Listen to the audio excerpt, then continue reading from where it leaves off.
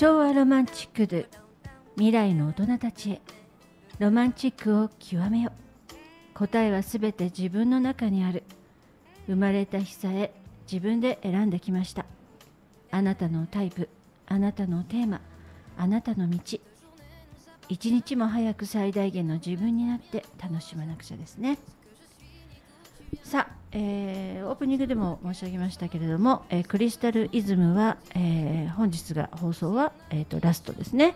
2022年のキーワードはカラフルでした。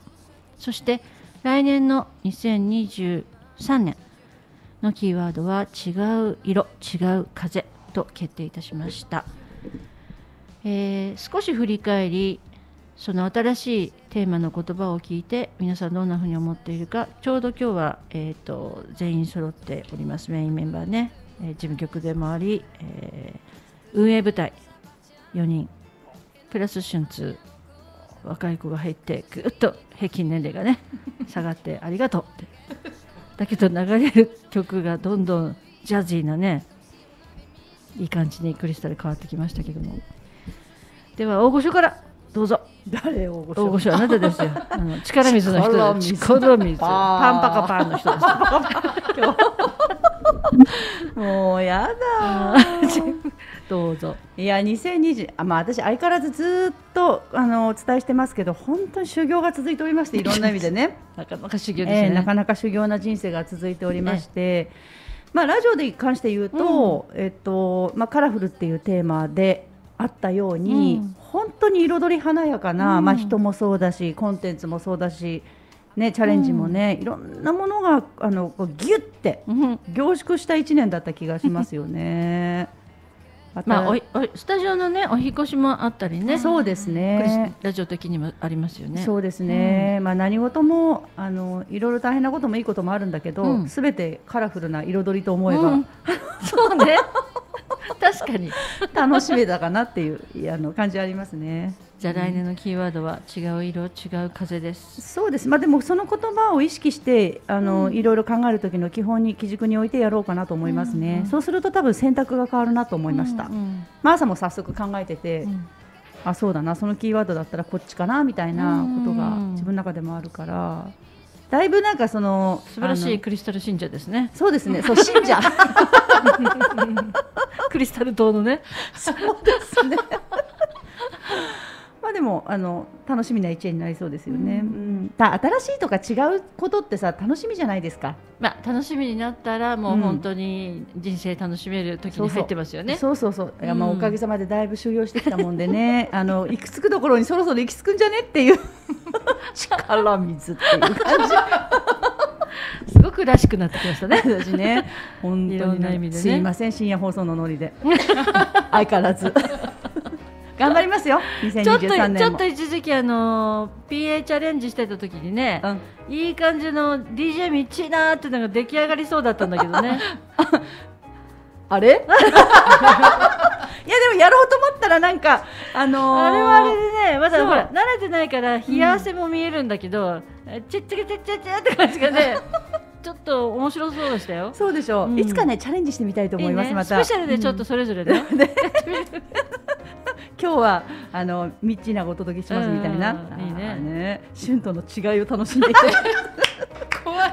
ワンワンみたいな。変な曲とか音とか流しちゃって。さあのー、まあなんていうの？初めて来たところでさあのずっと毎週同じパターンをやるんだったら全然もうプロだからできるんだけども、うん、クリスタルさ調子に乗って毎回、ね、うん、毎週出る人は違うわタイミングも違うわさ、何パターンあると思ってんのって。何何十番組やらせて思ってんだっていう そう本当本当。多分ね本当にすごいたくさん。申し訳ないんだけど一通り一周したら次の月からもうあの合図してね「うん、ます」みたいな。俺を誰だと思ってんだって言った 言った方がいいよ。俺様だぞって。俊様だぞ。ちょっとでもねそういうとこあんのよ。いい感じね見え隠れすんのよ。もうしびれちゃうないのね お母さんたち。お姉さんたち好きよそういうの。もっとやって。どうしよう今までさライブやったりしたらさ若い子がね、不安だったのがさ年齢層ぐーっと上がっちゃってあの子かわいいっていいじゃないですか。か次はクリスタルにちゃんとねいますからね。そうどうぞ不安になっていただいてお弁当作って並んでいただければね。そんなこと言っちゃダメ。まあ本当にあの、そういう違いもね一つ一そうですねつ楽しみながら、あはいの自分の中にまたインプットもして、ね。新しいあのさらにパワーアップした道になっていきたいなと思いますけど、うん。まあクリスタルもねそうですね。楽しみにしておりまはい。す、さあでは火の女どうぞもうはい浸透してきたね純子火の女ってはい イコール。今日ばっかだ別名し別名火の女。クリスマス前ですからね、あやっぱね赤はね着とかないとうんな、はい。と思ったんですけど、まあ道枝さんの話聞いてると、うんそのねちゃんとこう節制せよみたいなちゃんと従え従いましょうみたいなことに、ん。ねちゃんとなんかこう自分をの合わせていってたじゃないですか。私自分のためにやってるからね。全然ね、大丈夫。だけどそれを、まあまあ私も何回も言われましたよねもう待てとかこう今じゃないよとかって言われてもやっぱりそこに行けない私がいてねずっとや やり続けてきたそのカラフルさっていうのはそこに現れるかなと思うんですけどもなかなかねでも今年終止符打ったんだよね。そうそうそうそう。嘘。あのね風が吹いちゃったんですよ。もうもうすでに来年の風が。そよそよぶゆっていう感じで。なるほど。なのでね、まあ、ちょっとそこは従ってみようと、でまあ確かにあのもういいかなっていうのもあるんで、気が済んだ。そうそうそうやるだけやったら気が済んだんで また違う形でどうなるかわかんないですけど、まあ新しい風、うん、いいなと思いますね。いいですね。うん。さあ、えっ、と今日ねちょっとお喉の調子がね、はい。えへむし、えへむしじゃないな、枯れちゃったって感じでね。私もよく一年に二回。普段そんなにいっぱい喋んないのにさ、これお役目がちょっとここ数週間おしゃべりのお役目があったからね、だから多分しちゃったから。似た似たタイプでね。そうそうそう。喉は腫れてないけど声帯だけ真っ白だって言われました。どんだ私と一緒。私なんか三日三晩喋ったって平気だよ。いやダメ。だからね。あの体質ってありますよね。ねじゃあしあのそーっとでいいよ。あの番組終わったらもう喋んなくていいから今絞り出して。あのカラフルって、うん。なんかいろんな色をあ私は誰かが言った方がいいと思うよ。なでしこが口絵です。はい。カラフルっていろんな色をうん。取り込みたくなるような感じはするんですけど、うんうんうん。うん私のイメージ的には色ってありすぎると、うん。だんだんだんだんだんだん混ぜると群青群青色みたいな。ってばっちょくなっていくじゃないですか、ねぐちゃっとした色、うんそれをなんか今年は私整理するような年で、うんあの身の回りのものもこう抜いてうんうんうん。整理していらない色をこう抜いてったら、うんうん。本当のカラフルなうん必要な色が見えてきたっていう年かなっていう、素晴らしい表現。よか綺麗ったね美しい。考えてんだね、うん。で今真っ白になってるんですけど、真っね、白真っ白。あ真っ白になっちゃった。結局無職になったっていう。声帯が真っ白い新しい風を迎える準備ができたというか。ね。ね。白地ですから今キャンパス。何色でもどうぞですよね。いいですね。うん。うん。さっきねあのなでしこの時にさ純子がほら二度ある言葉三度あるあはい。三度目の正直っていう話をしてたじゃない？これって私がずっと3つの星生きるっていうのをずっとテーマにやってるじゃない、うん。みんなね。それとちょっとリンクしてるのよね。そそういうところからそういう言葉って生まれたのかなと思うぐらいパその人のパターンってあるのよね。うんうん。あのミッチーナのような生き方は私はししない。私の中の3パターンを生きるわけじゃない。みんなそれぞれの。だから繰り返し同じことはやってくるのよ。うん。で最初は初めてのことだからびっくり。だけど2度目は1回経験してる。3度目は2回経験してるからあベテラン？みたいなところがあるのかなっうんうんていう、あなるほど。そこからもしかしたら発想が来てるのかなっていうふうに私は聞いていて思ったんだけど、はいはだからまあ本当に繰り返し繰り返しこれからも生涯あの生き絶える時までね私は言い続けようと思うんだけど自分の自分は私は選んでないよってみんな思ってるんだけど自分の魂というものは自分が生まれる日を選んで自分で選んで生まれてきてる。だからそのそれを知知るとなるほどなっていうようなことがねあの知れるからそこまでは知った方がなんか選ぶものがいろいろねそれこそ変わってくるのでもちろんいいんですよ。例えば123なのに後ろの方の789をやったってもちろんいいんだけど、基本が自分のできているものが123でできているってところが分かれば7も8も活かせるんだけど、うん自分が123なんだか456なんだかなんだかが分からなくていろんなものを取り入れてもそれこそぐっちゃぐちゃになるので、うん。なんかそれを少しずつでも知っていってそして今がどうなのか前がどうだったのかその先がどうなの常に今と前と先っていうのがあるじゃない？それが分かっていくとうまーくなんかぬ脱ぐものを脱げてぬ脱ぐタイミングで脱げて新しいお洋服をいただいて着るっていうなんかタイミングがピタッピタッピタッって素直になればなるほど、うん。なるんすよ。ね。それ気持ちいいですね。なるんですよ、うん、抵抗するとそれ伸びるんですよ。だからそんなに先送りにしたいんだなと思ってあの抵抗する人をね見てると、まだそうか今受け取れるタイミングなんだのになと思うんだけうど、ん形的にはいらないいらないって言い続け、どうぞってすごいいろんなものが来てるのに、いらないいらない言うから受け取っとけばいいんじゃないのっていうの。だからなるべく素直にいろいろいろいろ受け取って自分の中でそれだって与えられるものって誰かが決めたものだから全部いるかどうかなんて分からないじゃない？で自分の中で決めればいいんだよね。うんこれはこのぐらいいるかな。このぐらいはじゃあこれはこっち置いとこうかな。後で使おうかなとかね。使い方は自由なんだから、なんかそういう工夫をしていく大人が別に年齢低かろうが高かろうがそういう大人がね理解した大人がいっぱいになれば本当に日常のちっちゃないざこいざこざから今起こっている大きな本当に戦いみたいなものがいらなくなる。うん。ここだからね。うん。まあなんかそんなことにつながっていったらいいなっていう草の根運動、うん、だと思ってる。そうですよね。そうなんかたまたま最近見た YouTube でう、ん。YouTuber さんで夫婦でやってる方がいるんですけど、うん喧嘩したことないんですって、うん。でもちゃんと2人ともこうデザイナーさんだから、うん。自分の意見を持って戦う時は戦う、外に向かっては。だけど家の中では例えばその人たちがの話だと、うん。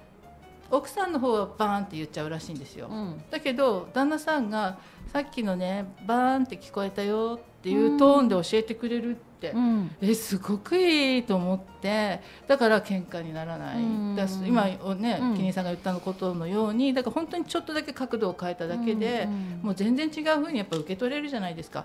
バンって言った人もバンって言っちゃったって思ってるところに言っちゃったよって言われたら、そうだよねごめんねって言えるのにパンって言ったわねって言ったらうん。ガッてきちゃうから、まあ、そういうことをね、うん。やっぱりもうちゃんと知ったんだから蓄積していこそううかなだそうだ。そうだ そうだ。言ってやってくれ。ね、パンパカパン。パパお札でも貼っとく？怖い怖い。ここに。ペッて。おでこにペッて。ね、古いよそれもね。知らないからしゅんくん。でもねこれもねあのーこうやって私がみんなにあ私は今クリスタルでは伝える人だけど私とてあのー別に出来上がってね1000人になったわけじゃないから ああまたやっちゃったとかさ繰り返すことだってあるわけ。だけどたくさん知る機会があったり人のこともねあのー伝え人に伝えるってすごく勉強になって成長するじゃない、うん。人のことを返して自分がもう一回そうか自分が変わればいいんだなだったりとかあの思い返すことが機会が多いっていうだけなのね。うん、で今たまたま私と同じようなことを伝える人になりたいっていう人を教えてるから、うんあの本当にこのことを伝える人にちゃんと仕上がってねって言って毎週毎週レッスンをしているのね、うん、だから鑑定でもないし統計学だけでもないし、うん。なんか本当にライフマップオーダーっていう私が造語をね作って自分の人生は自分でオーダーしていいんだよってそのためには自分のタイプを知らないとただただ欲しいものばっかりオーダーしてたんじゃうん。今必要じゃないものばっかりでね飾ったってしょうがないじゃない、うんクリスタルではよく私言ってるさ言葉をその生徒さんにね昨日言ったら大受けしてたんだけどクリスタルでほら落ちてる綺麗な羽ばっかりいっぱいつけても風吹いたら飛んじゃうでしょ？って言ったら、確かにって言ってなんかすごいびっくりしててだから中側から自分の中を膨らませて生えてきた羽は抜けないでしょってなかなかって言ったらストンときましたって言うからね。そうなんだよってうん話をしたのね、うんうん。だから早くみんな自分のせめてどんなタイプなのかなっていうのだけ分かればあのすごく納得することだったりストンとくるようなことがねいっぱいあると思うんだよね、うん。そこまで言ってほしいなと思うんですけど、はい。はい、でじゃあキリンさんはどうでしたか？あ2022年はね、やっぱりまあオープニングでちょっと言いましたけどすごく盛りだくさんなありとあらゆることがあー感じたり動いたりした年ですね、そういう意味で言ったら本当にカラフル、うんうんまあ一番は本当に1月にね14年半も一緒にいた我が愛犬が亡くなってもうショックでねしょんぼり3ヶ月ぐらいしてて。う、ん。そしたら「せーっていうような奇跡のうね、ん。えまああのほん本当はねあのどう結構覚悟がい、ね、年齢のこともあるしあのねどうかなと思ったんだけど、うん。まあ、いろんな協力を得て迎えようって迎えたいってやっぱりやっぱり迎えたい！みたいな、うん。で最終的に前のワンコを次元って言うんですけど「次元あなたとそっくりな子を連れてきて!」って祈ってて。そしたらたまたま本当にこういう子がレスキューされたよって言って一頭だけ道南地に来るってことになったよ言ったら、うん。もうそこからそこからの奇跡の始まりだよね。うん。そっくりだった次元とね、うんうん。びっくりよね。誰も選んでないもんね。うん。まああのたくさんの中の一頭がそれも私のとこに来たっていう時点でももうね、んもうやっぱり始まってんだなと思いましたよね。でこの子って言ってきたんじゃないんですか？あもうねレスやっぱりそういうちょっと緊急のレスキューの時って、うん。この子がいいとかそういうのあんまりできないんですよ。あ。じゃあもう振り分けもうそう。お願いお願いみたいなそうそうその感団体で、まあ、あのちょっと多少環境面でね、うん。こういう傾向の子があ出ないと難しいってことはあるから、うん。それをお伝えしておくんだけど最終的にはまあ団体の責任者の方があのじゃあこのかこの子お願いしますみたいなあのことにレモンの場合はなって。じでまあ、うん、まあでもね本当迎えに行った時は私も捕まえられないぐらいの、もうこうやって人人の手とあの視線から逃げ回ってさもう大これ大丈夫かなってあの、うん。とてもじゃないけどキリンさんのうちに行けるなんて思ってもみなくて、まあでもちょっとあの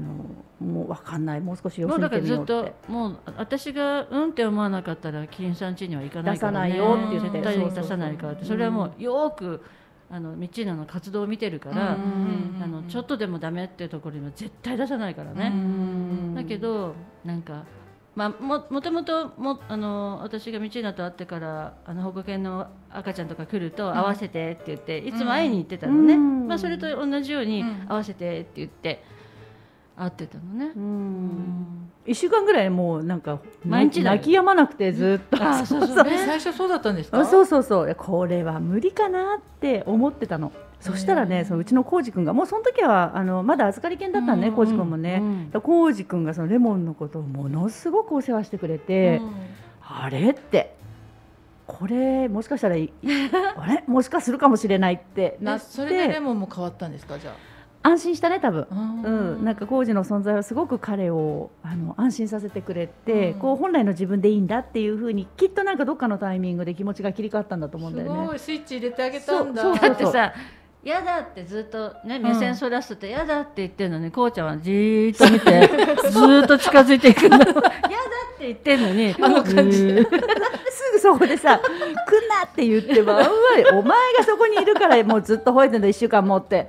言うのに懲りずにずーっとあれなんかつ伝えてたんだと思うんだよね。すごいそうで多分あの2人の中で2頭の間で折り合いがついてで1週間ぐらいしたらなんかもう全然別の犬別の犬みたいになって。でなんか様子見てるうちに「あらこれなんかちょっと背中見ていい?」って「チャックないですか?」みたいな「あれ中身次元入ってませんか?」みたいなこう本質的なところが見えてきてうんでまああのちょっと会いに来てって言って会ってもらってそこからもうなんかあの回数をね重ねるたびにやっぱりどんどんどんどん深まっていきましたよね。うん。確信に近づいていったねこれはね大丈夫っていう。ねただしやっぱりあのちょっと協力が必要だっていうことでうん。いろんな協力体制を整えるのにちょっと時間かかったりしましたけど、でもうまいことね。ね。うん。すごいですねでもねその出会いがすごい。奇跡奇跡。うん。うん。そういうことってあんだねっていうね。ね。本当そう。でそんなさ子が来たらさ、うんうん。そのままで終わらせるわけないじゃないね、うん。キャラクター作ろうと思って。すぐそういうこと始める。だけどすぐレモンだけじゃないと思って、うん。こうちゃんもだと思って。あだからそのタイミングでこうちゃんも正式に道なんとこのあ末っ子ちゃんとしてね迎えたのよ、はいはい。そう。預かりうちの系だ後ったんですそうそうそうねそう。そうまあ、レモンとの様子を見ていて、うん。あと保育園に連れて行ったり幼稚園に連れて行ったりするようになってやっぱり工事のポテンシャルの高さもすごく感じるようになって、うん。あやっぱりこの子なしでは預かり続けられないなって思思ったんだよね。で今もやけんちゃんいるでしょ、うんやけんちゃんだってもう工事がいるからああしてうんちゃんとね、そうだよね。そう。すごい。うん、やっぱり彼の存在ってすごくあのわ私のお家に来る子たちにとってはとっても大きくって、うんうんレモンもね。ね。うん二人でパピークラス順番にね、うん。まずちっちゃいレモンがいて 最後の方にあのここうちゃんがあのシーって出てきて。本当だね。おとでも大人になった2頭って最近またちょっとい、うん。昔と違った感じでね、うん。いいですよね、ううん。んなんか行くぞみたいな。そう。なんか目先や配せしちゃって。先やっといたよみたいな。すごくいいコンビになったんですね。ね。そこの出会いもすごいですよね。ね。そうだよね。うんで普通はね、うん。あの保護犬ちゃんが譲渡されると、うん。あんまり預かりのお母ちゃんには合わないんだけど、はなんかお集まり会みたいなのがない限りうん。ね、うちはほら毎週会うじゃない、うん。もうね反響来になるのレモンが。カチャカチャカチャ言って。へえ。ちょっとこのこれ問題かなと思って私途中でね少しね知らんぷりするようにしてたんですよね、うんあんまり、うん。あんまりコミュニケーションしない、うんもうそれでもなんか止まんないから、まあ、しょうがないなと思って。とりあえずチャージして。チャージして抱っこして。いいかもういいかって言って。そうそうなんか最初のそこの本当に初めましてのところからの1ヶ月ぐらいの短い時間だったんだけど、彼にとってはきっとものすごく大きな意味を持つね、時間だったんだろうなって思うね。こういう関係もうん珍しいよね。そうですね、まあ、ねブラッシュアップされないっていうそこがずーっともうなんかずーっと いいやこれ続くのねっていうね。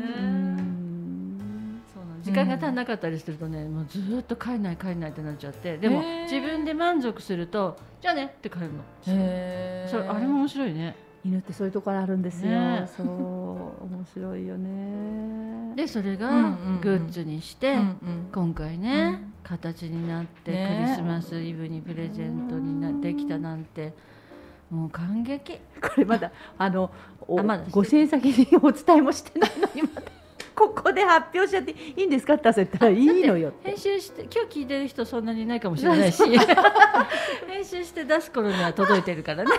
そうですね。終。わったらお知らせしなきゃ生放送で言っちまったよ。って、本当。まあでも素晴らしいなって、なんか全くなかったところにそういうキャラクターが生まれてさ彼ららが私たちのうん。01のさ、0から1にするっていうのもすごいなって。ねうんでもみんなの気持ちなのよ。もううん本当に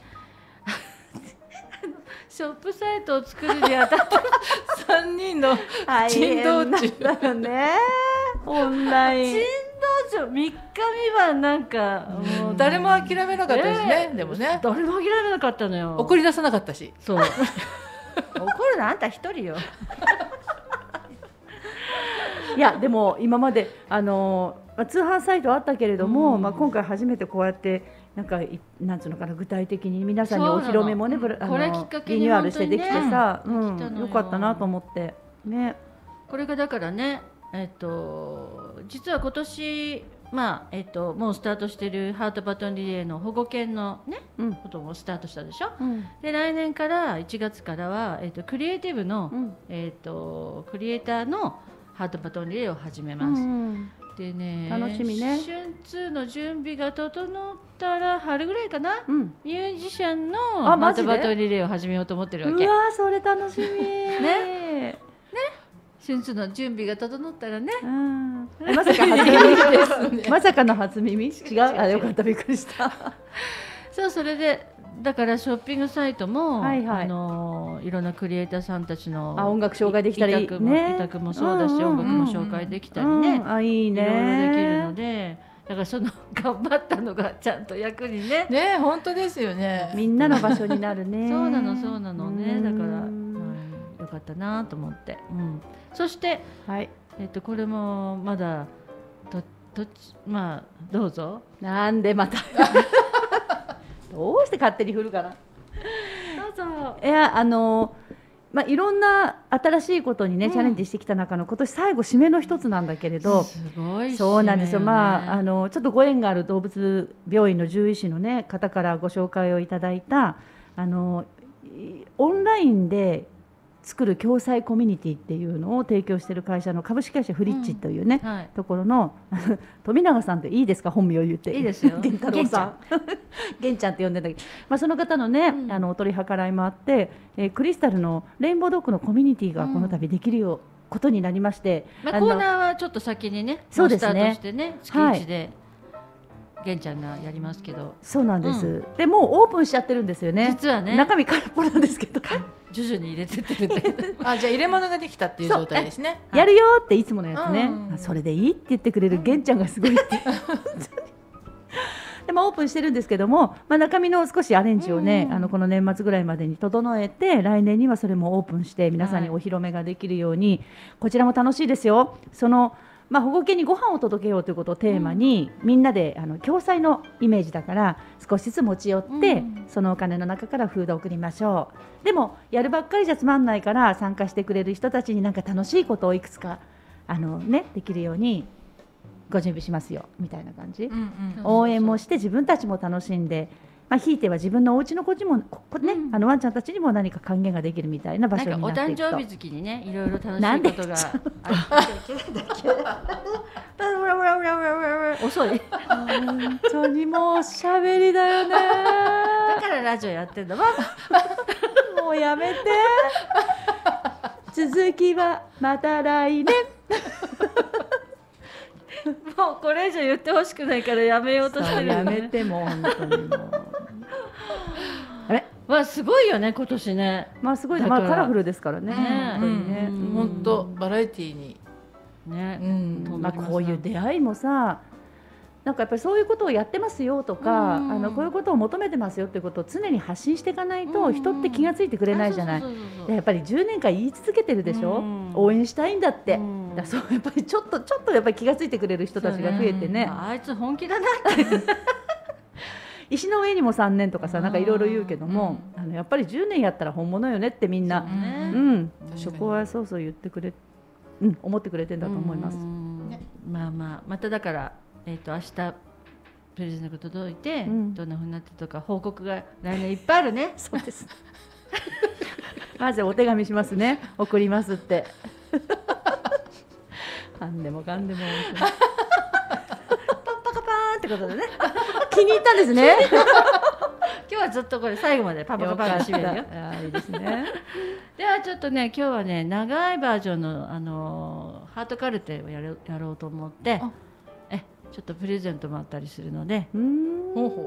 曲を挟みながらチェンジしていただけますか？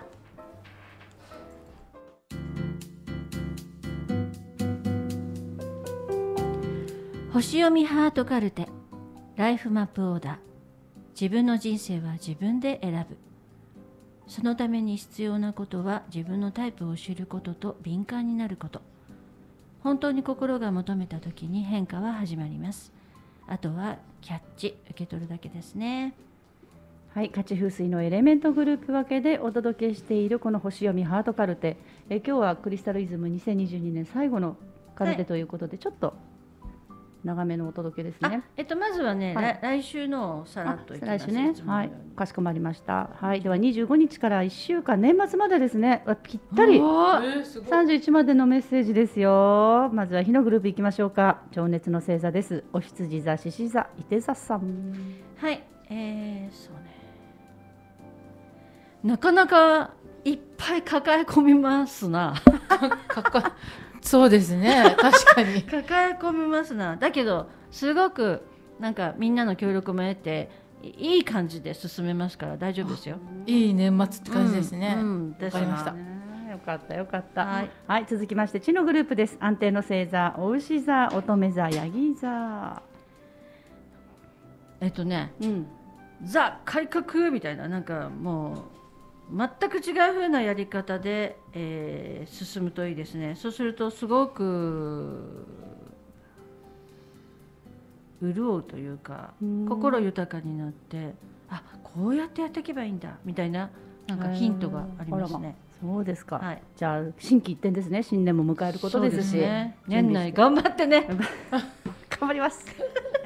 はい、続きまして風のグループです。伝達の星座、双子座、天秤座、水亀座。はーい。えっ、とね、本当に竹の一節一節ぐらいな感じで確実に確実に積み上げていく一週間ですね。はい。うーん。はい、最後は水のグループですよ。感情の星座、蟹座、サソリ座、魚座。そうですね。水のグループはですね、ちょっと思い描いてたものとしてできなかったことばっかりなんかすごく思い返しちゃうみたい。だからでも意外とあの世間的にはちゃんとできてるじゃないっていうことなんだけど自分がどうしてもできなかったことの方がクローズアップしてしまうからそういう毛が傾向があるんだなぐらいにちょっと思っといた方がうん、でもできてるでしょって。うん、うん、っていうのをもし周りの家族の人だったらそこをちょっと言ってあげた方がいいかもしれない、うんあのね。なんか陥ってしまう。ははあ。ありがちですね、うん。ありがちなね。水の星座だからね。マイワールドね、うん。あるからね。うん。そうですか、はいまあ31日大晦日までのメッセージ今年やり残しのないように皆さんそうですね、頑張ってくださ、はい。い、はい。さあそれで今日は、はいえっとまあ、じゃあクリスマスプレゼントということで、はい。えー来年のあだから1月1日からあのまあ放送放送はないね30日は放送がないから、えっと私が LINE 公式であお知らせするしかないんですけど、うんうん。1日からなんだね。来るかなちゃんと簡単に。あ めでたい日だからよろしくお願いしますよ。31日紅白見るしな。できるかな？ね。で、うん。えっとクリスマスプレゼントはえっとひ火の星座地の星座風の星座水の星座ごとですけれどもえっと1月の1ヶ月だけどそこをあの星読みしておきましたので、あ私たちのあの今。ごめん。そうじゃなくて今発表するのね。あそっかそっか。1月ね。はいはいはい。普通はほらえっと一週間だけど。あ普段は1週間だし、うん本当は上半期下半期って言ってあの、えっと個人的に希望してる人にはあのしてるんだけど、うんうん。まあ、今回クリスマスプレゼントということで1月の分、ね。はいまあ、最初の一月がそうここんな感じななんだなってスタート時が分かれば少しはなんか選ぶものも変わるかもしれないのそうで、ですねまずは火のグループですね。はいそうですね。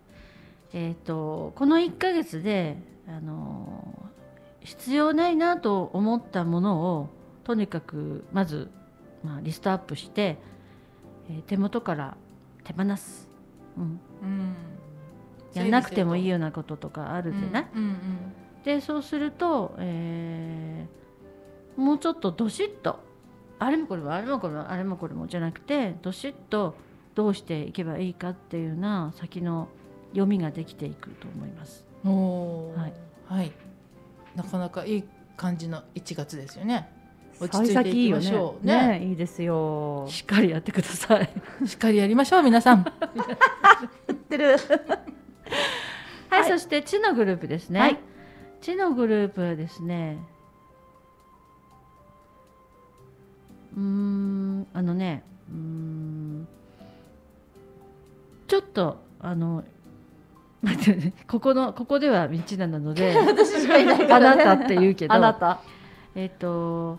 一人で突っ走っちゃいそうになりがなりがなりかけるうんなりかけるので、えー、と気をつけてってまずね、うん、みんなでとにかくやるって考えたり。相談しようそうしようですね。そうしよう。はい。それで、うん。えーそれでもちょっとやっぱりピュッとコーナー行きそう第になる、三コーナーの女だからね私ね。行きそうになるから、はい。なるよって。うん。注意をしてくださいって言われて、した。はい、あ分かってればね。あそうですね。まあだいぶそれで痛い目に待って2コーるナーで頑張る。ちょっと我慢すりゃいいんだよね。ね、時々振り返るとかね。うん。そうだね。ついてきてないね。うん足だけ動かすから。誰もいないね。足踏みそこでするとかね。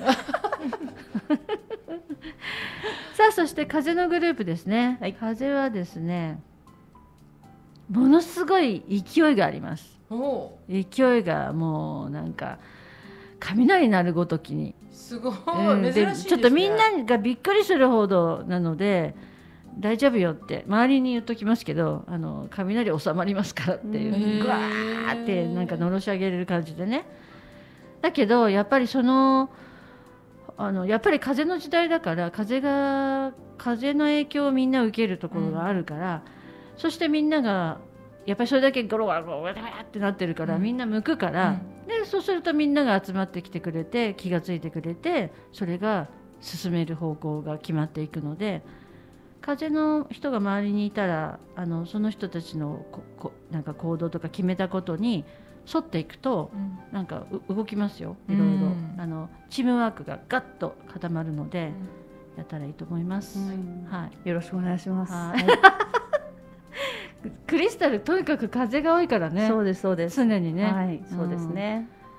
さあそして水のグループですね。水のグループはえっ、とねとにかくゆっくりです。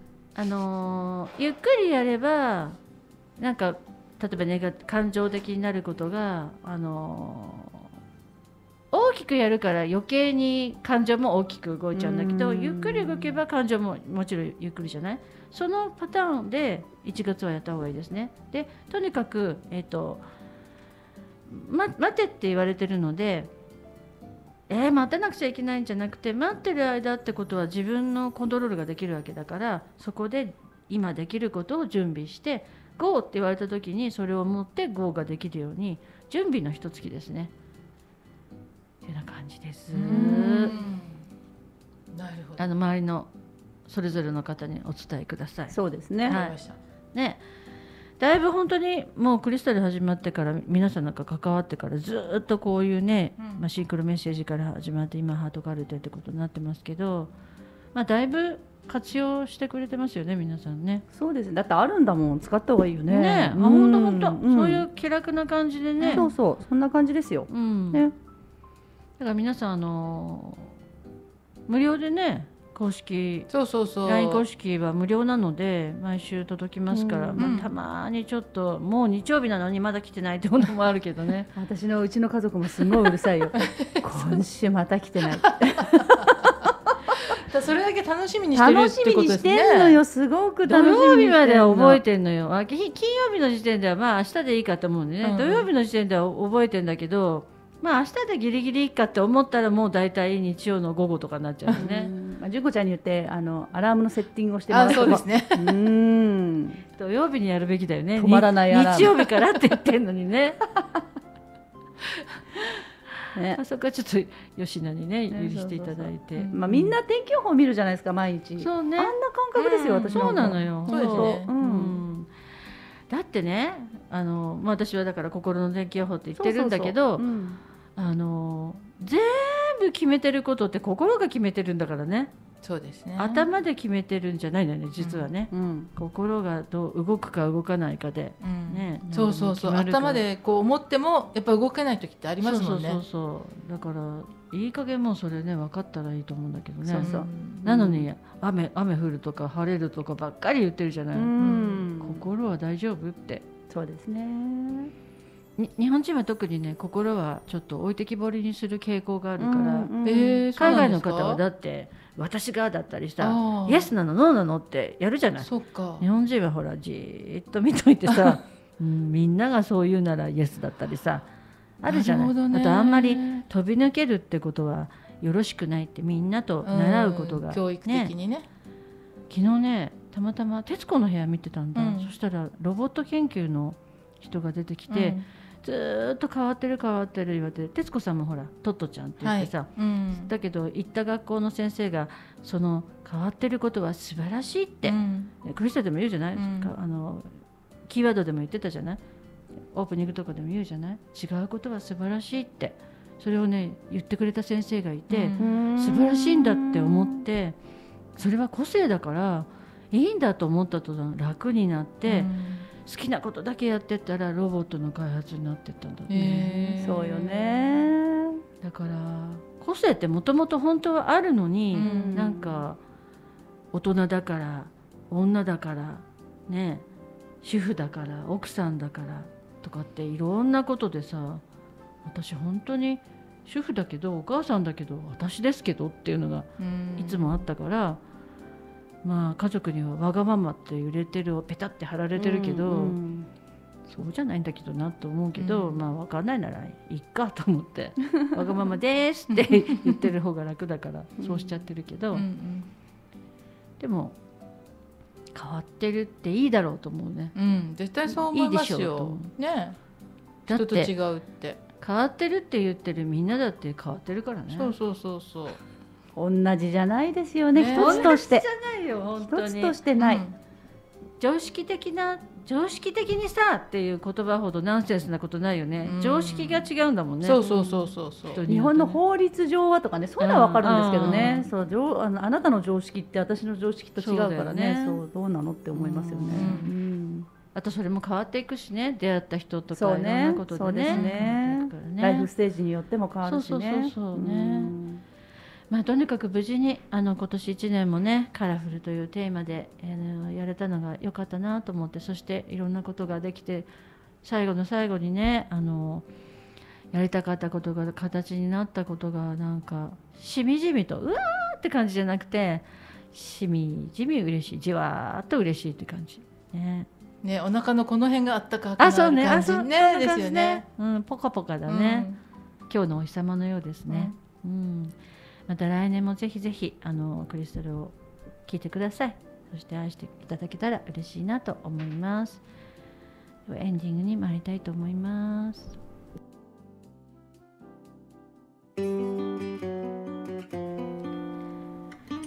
さあクリスタルからの素敵情報が誰かの心に届きますように。毎日がロマン飛行。未来へのバトン。みんなが夢の途中。毎週金曜10時からの2時間番組クリスタルイズム。次の番組はキノポップさんのレディオジュークボックスです。今日はどんな曲が流れるのでしょうか？さあじゃあお一人ずつ最後にねあのー聞いてくださってる見てくださってる方々にはい。お一言パンパカパンどうぞ。パンパカパン。ありがとうございます。パンパカパン。もうね皆さんあってのクリスタル。皆さんあっての私たち、ねもうねこれを実感する一年でした。うん。はい。また来年も引き続きねいろいろご迷惑わがまま あの最初に言っとくのいいよね。えおかけすることと思いますので最初に宣言させていただいてそれでも ね頑張る私たちをぜひお支えいただきたいと思います。さらなる飛躍を目指してまいります。ちょっとちょっと挟んでいい？今日車の中で言ってたんだけどこの2人さ結構やるときとことんやるから1個のなんか企画が終わるとさ カラッカラになっちゃう。私今ね中身結構乾燥してます。本当にハーブティーぐらい。本当にね。そうねもう出し尽くしたからもう本当に尽くしたよね。出し尽くした。でも皆さんに味わっていただいてそうするとまたねまたプー。満たされていくと。そういうとこあるからね。あとワンコが嬉しそうに食べてたりさよかったなんて言われるともうじゅすぐすぐ満杯になるね。簡単。でまた行くんだよね。でまたヒュー身が細るような思いをしながらですね 皆様のために北から南から奔走するわけですよね。大丈夫です。みんな心配しないでそういうあの気質があってあのう。喜んでやってますから。犬だからね、うん。すぐこう私もちょっと痩せちゃったねと思ったらあ今そういう時期なんだなと思って応援してください。ぜひ。共催にも入ってください。ね、また来年楽しい本当皆様と共に楽しい一年にしていきたいと思いますので、応援よろしくお願いします。はいはい、今年一年ありがとうございました。はいじゃあクリスタルのあのデザインデザインをね、全般いろいろしてくれている純子リーナ。はい、デザイー。ナーの石川純子はですね、そんなあの狼と福狼の後ろ姿を見ながら、まあちょっと冷静にねあ行った行ったと思いながら、また今年もね、来年今年もそういうふうにしてね無事過ごせたので、来年も温かく見守りながら。たまたまにちょっとこうあのふんってしてみたりね、それもちょっと控えめにしてやっていこうと思います。はい。さあ、えっ、といろいろショップとかね、あと事務局もね、いろいろやってくれているなでしこ学の知恵でございます。はい。今年はねいろいろ動き始めた感がありますのうん。でやっとね第一歩が踏み出せた感じがしますのでその先のね皆様にお届けできるように活動していきたいと思いますあよろしくお願いしますそして新人くん、おーい、しゅんくん一言どうぞ。準あ備が。はい。PN 10月、え、11月11 11月月11月からだもんね。はい。まだピカピカでございます。そうですね。ようやく2ヶ月ねで。すね。はい。まああの周りのお姉様方にお姉様方に母ちゃんがだっけ鍛えられて喜喜んでんじゃないよ。もうにじみ出てくる。やめなさい。はい、しゅんちゃんどうぞ続きどうぞ。あありがとうございます。鍛えられながら、えっとこの2ヶ月間 PA をしてきました。来年はもっと音楽のいろんなことを発信したりとか、うん。まあもちろん PA の方も、あの頑張っていきたいというふうに思っております。はい。いいね。もうあの、しみじみね。番組がさ、ジャズィーな感じになってたのがもう一番なんか嬉しいよね。私私本当に嬉しい。趣味合ってるでしょ？私ねあの自分が出てない時もヘッドホンでずっと聞いてた。週のコーナーにさ、さあ行くよって言ってヘッドホンしたから違うよって。お前出番じゃないだろって。聞いてんだよって。聞きたいんだよ。ちゃんと締めましょう。ね。はい。さあ泣いたり笑ったり驚くことも時にはあります。でも大体が嬉しいことなら全部人生のスパイスです。クリスタルからの幸せな時間のお裾分けです。音楽と言葉の魔法があなたの人生を豊かにします。クリスタルイズム合言葉はみんなでいきましょうか。お互い様にありがとう。誰かのために。えいえいおおうあなたの本気を応援します